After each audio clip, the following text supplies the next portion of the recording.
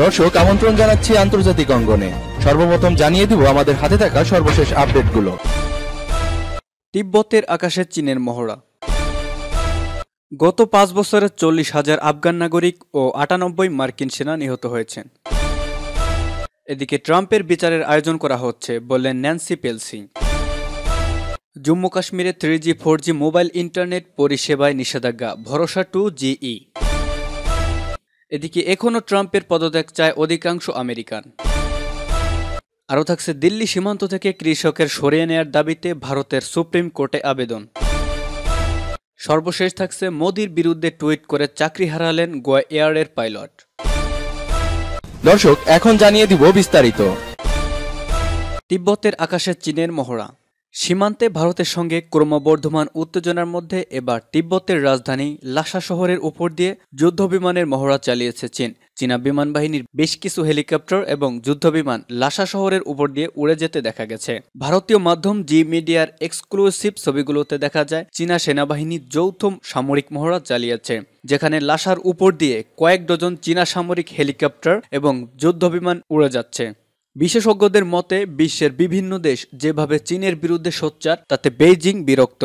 দেশটির তিব্বতকে হারানোর ভয় কাজ করে, তাই তারা ষাট বছরের বেশি সময় ধরে তিব্বতকে শক্ত হাতে শাসন করেছে। সম্প্রতি তিব্বতের সমর্থনে যুক্তরাষ্ট্রে দু হাজার বিশ সালের তিব্বতী নীতি ও সহায়তা আইন পাশ হয়েছে। এই আইনে বলা হয়েছে, তিব্বতের অভ্যন্তরীণ রাজনীতিতে হস্তক্ষেপ করলে চীনের বিরুদ্ধে ব্যবস্থা নেওয়া হবে। তিব্বতের নির্বাসিত নেতা দালাই লামার উত্তরসূরি নির্বাচনের ক্ষেত্রে হস্তক্ষেপকারী চীনা কর্মকর্তাদের উপর নিষেধাজ্ঞা আরোপ করা হবে বলে হুঁশিয়ারি দেওয়া হয়েছে। এদিকে যুক্তরাষ্ট্র ভিত্তিক গবেষণা ও বিশ্লেষণ দল জেম স্ট্রাউন ফাউন্ডেশনে প্রকাশিত নিবন্ধে গবেষক অ্যাড্রিয়ান জেন্স বলেছেন দু হাজার উনিশ সাল এবং দু হাজার বিশ সালে তিব্বত স্বায়ত্তশাসিত অঞ্চল টিএআর এর অন্য অংশগুলোতে এবং চীন প্রজাতন্ত্রের অন্যান্য প্রদেশে পিআরসি নিয়ন্ত্রিত কেন্দ্রীয় ও বৃহত্ত আকারের প্রশিক্ষণ এবং পল্লী উদ্ধৃত মজুরদের স্থানান্তরের জন্য নতুন নীতি চালু করে। দু হাজার বিশ সালের প্রথম সাত মাসে এই নীতিমালার মাধ্যমে অঞ্চলটিতে পাঁচ লাখ গ্রামীণ উদ্ধৃত শ্রমিককে প্রশিক্ষণ দেওয়া হয়। সূত্র জি নিউজ। গত পাঁচ বছরে চল্লিশ হাজার আফগান নাগরিক ও আটানব্বই মার্কিন সেনা নিহত হয়েছে। আফগানিস্তানের প্রেসিডেন্ট আশরাফ গনি বলেছেন, গত পাঁচ বছরে তার দেশের চল্লিশ হাজারের বেশি মানুষ নিহত হলেও মার্কিন সেনা নিহত হয়েছে মাত্র আটানব্বই জন। তিনি মার্কিন নিউজ চ্যানেল সিএনএনকে দেওয়া সাক্ষাৎকারে তথ্য জানান। আশরাফ গনি বলেন দু হাজার পনেরো সালে আমি প্রেসিডেন্টের দায়িত্ব গ্রহণ করার পর আফগানিস্তানে মার্কিন সেনা নিহত হয়েছে আটানব্বই জন। অথচ আমার দেশের নাগরিক ও বেসামরিক নাগরিক নিহত হয়েছে চল্লিশ হাজারেরও বেশি। আমরা মার্কিন নাগরিকদের নিরাপত্তা রক্ষা করছি। তিনি আফগানিস্তান থেকে মার্কিন সেনা পুরোপুরি প্রত্যাহারের সিদ্ধান্ত নেয়ার আগে দেশের স্বার্থ বিবেচনায় নেয়ার জন্য নির্বাচিত মার্কিন প্রেসিডেন্ট জো বাইডেনের প্রতি আহ্বান জানান। আফগান প্রেসিডেন্ট বলেন, যে কোনো মূল্যে তার দেশের স্বাধীনতা, সার্বভৌমত্ব ও অখণ্ডতা রক্ষা করতে হবে। সিএনএনকে দেওয়া সাক্ষাৎকারে প্রেসিডেন্ট গনি তালেবানের সঙ্গে তার সরকারের চলমান শান্তি প্রক্রিয়া নিয়েও কথা বলেন। তিনি জানান, শান্তি আলোচনা কি, কীভাবে চলবে, তার রূপরেখা ঠিক করতেই হবে, চার মাস সময় ব্যয় হয়েছে। এখন আলোচনার মূল পর্বে ইতিবাচক ফল পাওয়া যাবে বলে তিনি আশা প্রকাশ করেন। আফগান প্রেসিডেন্ট ইতিবাচক দৃষ্টিভঙ্গি নিয়ে আলোচনায় বসার জন্য তালেবানের প্রতি আহ্বান জানান সূত্র পার্সটুট ট্রাম্পের বিচারের আয়োজন করা হচ্ছে, বললেন ন্যান্সি পেলোসি। মার্কিন কংগ্রেসে বুধবারের হামলায় ভূমিকা রাখার অভিযোগে যুক্তরাষ্ট্রের ডেমোক্র্যাট পার্টি বিদায়ী প্রেসিডেন্ট ডোনাল্ড ট্রাম্পের সংসদীয় বিচারের প্রক্রিয়া শুরু করছে। কংগ্রেসের নিম্নকক্ষ হাউস অব রিপ্রেজেন্টেটিভসের স্পিকার ন্যান্সি পেলোসি বলেছেন, ট্রাম্প যদি এই মুহূর্তে পদত্যাগ না করে, তাহলে তারা বিচারের লক্ষ্যে একটি সাংবিধানিক অনুচ্ছেদ নিয়ে কাজ শুরু করবেন। খবর বিবিসি নিউজ। ট্রাম্পের বিরুদ্ধে অভ্যুত্থানে উস্কানি দেওয়ার অভিযোগটি হাউস ডেমোক্রেটরা সোমবার দায়ের করতে পারেন বলে জানা যাচ্ছে। তাদের অভিযোগ, বিদায়ী প্রেসিডেন্ট ট্রাম্পের উস্কানিতে কংগ্রেসের ভেতরে বুধবারের দাঙ্গা হাঙ্গামার ঘটনাটি ঘটে, যার জেরে পাঁচ ব্যক্তির প্রাণ হারায়। যুক্তরাষ্ট্রের নতুন প্রেসিডেন্ট জো বাইডেন বলেছেন, বিচারের বিষয়ে সিদ্ধান্ত নেবে কংগ্রেস, তবে তিনি বহুদিন ধরে জানতেন যে ডোনাল্ড ট্রাম্প প্রেসিডেন্টের দায়িত্ব পালনের উপযুক্ত নন। হোয়াইট হাউস বিচার করার উদ্যোগকে নাকচ করে বলেছে, এটি রাজনৈতিক উদ্দেশ্য প্রণোদিত এবং এতে আমাদের মহান দেশ আরও বিভক্ত হয়ে পড়বে। হাউস অব রিপ্রেজেন্টেটিভে ডেমোক্রেটিকে পার্টির একশত ষাট প্রতিনিধি ইতিমধ্যেই আর্টিকেল অব ইমপিচমেন্ট অর্থাৎ সংসদীয় বিচারের আইনের খসড়াটি সই করেছেন।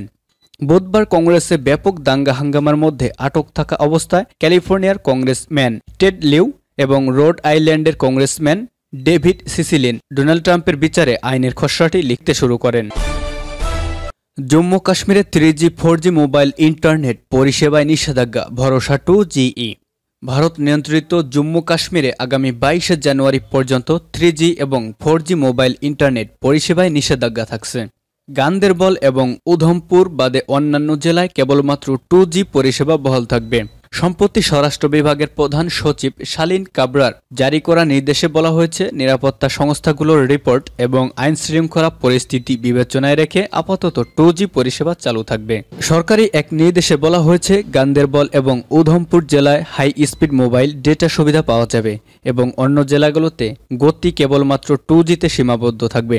আশঙ্কা করা হচ্ছে, কিছু সংগঠন যুবকদের বিভ্রান্ত করার জন্য ডেটার অপব্যবহার করতে পারে। সেজন্য three G, four G mobile ইন্টারনেটের সহজলভ্যতার উপরে নিষেধাজ্ঞাকে পূর্বাবস্থায় অব্যাহত রাখতে হচ্ছে।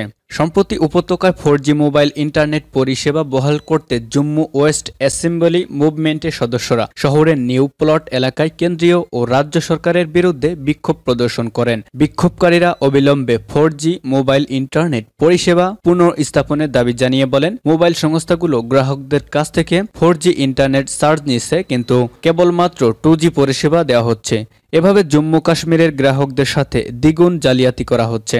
এদিকে জম্মু ওয়েস্ট অ্যাসেম্বলি মুভমেন্টের প্রধান সুনীল ডিম্পলের নেতৃত্বে সংগঠনের সদস্য এবং এলাকার মানুষজন ফোর ইন্টারনেট পরিষেবা পুনরুদ্ধারের দাবিতে বিক্ষোভ প্রদর্শন করেন। সুনীল ডিম্পল বলেন, প্রত্যেক পরিবারের পক্ষে ব্যয়বহুল ফাইবার ইন্টারনেট সংযোগ দেওয়া সম্ভব নয়। ফোর পরিষেবা বন্ধ থাকলে শিশুদের পড়াশোনা মারাত্মকভাবে ক্ষতিগ্রস্ত হচ্ছে এ বলেও সুনীল ডিম্পল মন্তব্য করেন। এদিকে, যদিও সুপ্রিম কোর্ট গঠিত বিশেষ কমিটি নিরাপত্তা এবং অন্যান্য সংশ্লিষ্ট এজেন্সিগুলোর সাথে পরামর্শের পরে মনে করেছে যে, কোভিডের মোকাবেলা ও শিশুদের শিক্ষায় টু জি পরিষেবা কোনো বাধা নয়। সূত্রটি জানিয়েছে পাস টুডে। এখনও ট্রাম্পের পদত্যাগ চায় অধিকাংশ আমেরিকান। যুক্তরাষ্ট্রের পার্লামেন্ট ভবনে হামলার পর দেশের মধ্যেই মানুষের বড় একটা অংশের ক্ষোভের কারণ হয়ে উঠেছেন বিদায়ী প্রেসিডেন্ট ডোনাল্ড ট্রাম্প। ইতিহাসের এই নজিরবিহীন তাণ্ডবের ঘটনায় সারা বিশ্বের কাছে যুক্তরাষ্ট্রের ভাবমূর্তি ক্ষুণ্ণ হয়েছে। ব্রিটিশ বার্তা সংস্থা রয়টার্স ও জরিপ প্রতিষ্ঠান ইপস পরিচালিত এক জরিপে আবাস মিলেছে, প্রেসিডেন্ট হিসেবে মেয়াদ শেষ হওয়ার আগেই ট্রাম্পের অপসারণ চায় দেশটির সাতান্ন শতাংশ নাগরিক। গত ছয় জানুয়ারি নির্বাচিত প্রেসিডেন্ট জো বাইডেনের বিজয় অনুমোদনের দিনে ক্যাপিটাল হিলে নজিরবিহীন গতিহীন তাণ্ডব চালায় ট্রাম্পের সমর্থকরা। এ সময় পুলিশের সঙ্গে তাদের তুমুল সংঘর্ষ ঘটে। এতে এক পুলিশ কর্মকর্তা সহ প্রাণ হারান পাঁচজন। এদিকে ডোনাল্ড ট্রাম্পের উস্কানিতেই এই হামলা হয়েছে বলে মনে করা হচ্ছে। ক্যাপিটালের তাণ্ডবের ঘটনায় ডেমোক্র্যাট এবং রিপাবলিকান উভয় দলই নিন্দা জানিয়েছে। বৃহস্পতিবার ও শুক্রবার পরিচালিত জরিপে দেখা যায়, গত নভেম্বরে ট্রাম্পকে ভোট দেওয়া প্রতি দশজনের মধ্যে সাতজনই পার্লামেন্ট ভবনে উগ্র ট্রাম্প সমর্থকদের তাণ্ডবের ঘোর বিরোধী। এদের মধ্যে একাংশই এখনও ট্রাম্পকে অপসারণের পক্ষে না থাকলেও বেশিরভাগই তার তাৎক্ষণিক পদত্যাগ চায়। রীতি মেনে বিশে জানুয়ারি আনুষ্ঠানিকভাবে মার্কিন প্রেসিডেন্টের চেয়ারে বসবেন নির্বাচিত প্রেসিডেন্ট জো বাইডেন। কিন্তু বুধবার ক্যাপিটাল ভবনে হামলার ঘটনার পর তার আগেই ট্রাম্পকে সরিয়ে নেওয়ার সম্ভাবনা উড়িয়ে দেওয়া যাচ্ছে না। মার্কিন কংগ্রেসের নিম্নকক্ষ প্রতিনিধি পরিষদের স্পিকার ন্যান্সি পেলোসি এবং ডেমোক্র্যাট দলের অন্যান্য সদস্যদের বিশ্বাস ট্রাম্পকে এখনই ক্ষমতাচ্যুত করা উচিত। দিল্লি সীমান্ত থেকে কৃষকদের সরিয়ে দেওয়ার দাবিতে ভারতের সুপ্রিম কোর্টে আবেদন। ভারতের রাজধানী দিল্লি সীমান্তে আন্দোলনরত কৃষকদের সরিয়ে দেওয়ার জন্য সুপ্রিম কোর্টে আবেদন জানানো হয়েছে। ঋষভ শর্মা নামে এক ব্যক্তি ওই আবেদন জানিয়েছেন।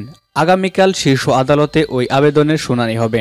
আবেদনকারী তার আবেদনে বলেছেন, বিক্ষোভ ও রাস্তা জ্যাম হওয়ার কারণে প্রত্যেক দিন তিন হাজার পাঁচশত কোটি টাকার ক্ষতি হচ্ছে। কাঁচামালের দাম তিরিশ শতাংশ বেড়েছে। তিনি বলেন, সুপ্রিম কোর্ট গত অন্তর্বর্তী আদেশে বলেছিল যে, প্রতিবাদ শান্তিপূর্ণ হওয়া উচিত, কিন্তু প্রতিবাদকারীরা মোবাইল টাওয়ার ক্ষতিগ্রস্ত করেছে। এটি সুপ্রিম কোর্টের আদেশের লঙ্ঘন। কৃষক বিক্ষোভ ইস্যুতে সুপ্রিম কোর্টে হলফনামা দাখিল করেছে ঋষভ শর্মা। আবেদনে বলা হয়েছে, কৃষকদের সীমান্ত থেকে সরিয়ে নেওয়া উচিত। রাস্তা অবরুদ্ধ করা শাহিনবাগ আন্দোলন মামলায় সুপ্রিম কোর্টের জারি করা নির্দেশিকার পরিপন্থী। কৃষকরা কমপক্ষে ছেচল্লিশ দিন ধরে কেন্দ্রীয় সরকারের কৃষি আইনের বিরুদ্ধে আন্দোলন করছেন। আন্দোলনকারী কৃষকরা কৃষি সংক্রান্ত তিনটি কেন্দ্রীয় আইন প্রত্যাহারের দাবিতে অনড় রয়েছেন। এদিকে কৃষকদের দাবি না মেনে নিলে তারা আগামী ছাব্বিশে জানুয়ারি প্রজাতন্ত্র দিবসে রাজধানী দিল্লিতে ট্রাক্টর মিছিলের ঘোষণা দিয়েছেন। কৃষক নেতাদের সাথে পরবর্তী বৈঠক হবে আগামী পনেরোই জানুয়ারি। সূত্রটি জানিয়েছে পাস স্টুডেন্ট। মোদির বিরুদ্ধে টুইট করে চাকরি হারালেন গো এরার পাইলট। সামাজিক যোগাযোগ মাধ্যমে ভারতের প্রধানমন্ত্রী নরেন্দ্র মোদীকে কটাক্ষ করে চাকরি খোয়াতে হলো গোয়েরারের এক সিনিয়র পাইলটকে। বিমান সংস্থাটি জানিয়েছে, সোশ্যাল মিডিয়ায় আচরণ সংক্রান্ত সংস্থার বিধি লঙ্ঘন করায় তাকে চাকরি থেকে ছাঁটাই করা হয়েছে। তবে গোটা ঘটনায় তীব্র সমালোচনার মুখে পড়েছেন তারা। খবর ইন্ডিয়ান এক্সপ্রেস। চাকরি হারানো ওই পাইলটের নাম মিকি মালিক। সম্প্রতি টুইটারে প্রধানমন্ত্রীকে তীব্র ভাষায় সমালোচনা করেছেন তিনি। টুইট বার্তায় তিনি লিখেন প্রধানমন্ত্রী মূর্খ। পাল্টা আমাকে মূর্খ বলতেই পারেন আপনারা। অসুবিধা নেই, আমি তেমন গুরুত্বপূর্ণ নই, কারণ দেশের প্রধানমন্ত্রী নই আমি। কিন্তু প্রধানমন্ত্রী মূর্খই। মিকির এই টুইট ঘিরে বিতর্ক দানা বাঁধতে সময় লাগেনি। তার জেরে তড়িঘড়ি টুইট মুছে ফেলেন তিনি। নিজের অ্যাকাউন্টেও লক করে দেন। তারপর ক্ষমা চেয়ে লেখেন, প্রধানমন্ত্রীকে নিয়ে টুইটের জন্য ক্ষমা চাইছি। আমার অন্য কোনো টুইটেও যদি কেউ আঘাত পেয়ে থাকেন, তার জন্য ক্ষমা প্রার্থী আমি। তবে আমার কোনো টুইটের সঙ্গে প্রত্যক্ষ বা পরোক্ষভাবে গো এরারের কোনো সংযোগ নেই। এ ঘটনার তিন দিনের মাথায় শনিবার তাকে চাকরি থেকে বহিষ্কার করে গোয়ারা। কারণ হিসেবে জানানো হয়, এ ধরনের ঘটনার ক্ষেত্রে জিরো টলারেন্স নীতি নিয়ে চলে সংস্থা। আজকের মতো এখানেই শেষ করছি। সবার আগে সর্বশেষ সংবাদ জানতে আমাদের চ্যানেলটি এখনই সাবস্ক্রাইব করে রাখুন। ধন্যবাদ এতক্ষণ সাথে থাকার জন্য।